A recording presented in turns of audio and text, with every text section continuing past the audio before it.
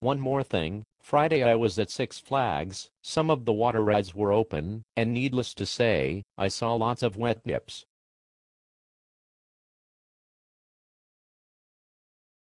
Fucking Class E.